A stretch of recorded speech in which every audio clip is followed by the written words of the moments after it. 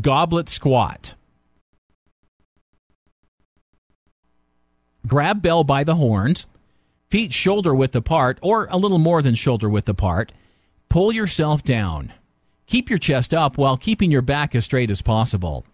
Elbows come inside your knees with weight on my heels and not my toes. Stand straight up.